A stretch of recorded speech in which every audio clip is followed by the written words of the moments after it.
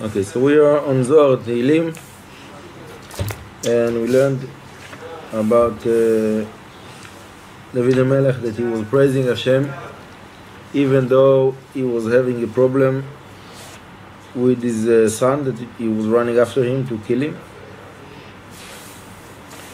Right? Now, the pasuk says, "Kuma Hashem Moshiani Elokai ki ikita et kol oivai lechi shinei reshaim shibarta."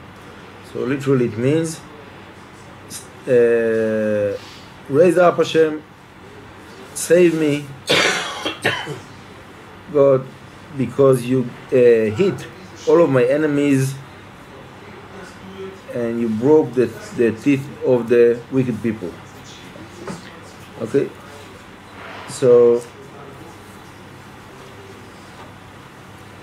we have a midrash of the Zohar about the, bro- the broken teeth of the wicked people. So when Yaakov met Esav, it says Vaishakeu. Yeah? When Yaakov met Esav, Esav was trying was it says in Torah that Vaishakeu that he kissed him, literally. Yeah. But it have dots above the word Vaishakeu. That he, he, he kissed him. Why? לא נשקו ברצונו. The Zohar says that it was not, he was not willing to kiss him. So, it says, נעתרות נשיקות שונא. There's another pasuk, נעתרות נשיקות שונא. It says in Mishle. Means that the someone that hates his friend and he kiss him, kisses him, so it's like, what, what are you doing? Why are you doing that? That You know? So, example is that Bilam, he, will- he came to curse Am Israel, and Hashem put blessings in his mouth. But so he said blessings to Am Israel, but really it was unwillingly. He didn't want to give blessings. He wanted to curse. Came out blessings, right? So also that is an example of like what are you doing? It's like kissing without the will to kiss. It's the same thing. Right? So it says that's the same thing by Esau. and then it says that really Esau, when he was came come to kiss Yaakov, so he wanted to bite him in, in the throat. Maybe, maybe that's the all, the whole uh, legend of the vampires. Maybe it's coming from there. I'm, I don't know. He was trying to, to, to bite him. So so what what so what what happened? He broke his teeth. Yes. Hashem made the neck of Yaakov Strong. like stone, and he and it broke the teeth of uh, of Esau.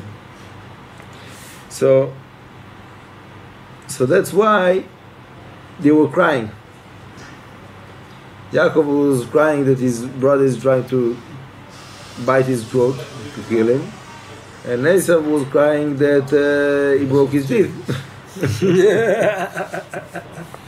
okay, but the real the real uh,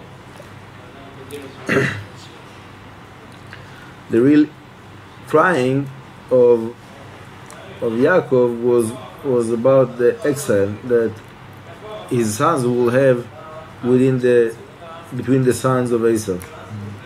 Right? And this is the last exile. And that's what we have today.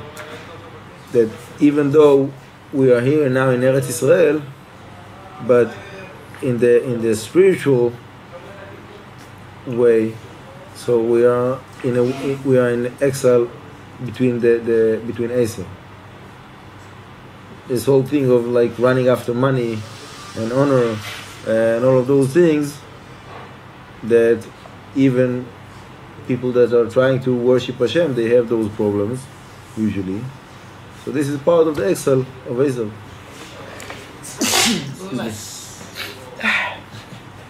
Ay, ay, You have tissue? Yeah, so, nothing. Uh-huh. Can bring you. Thank you.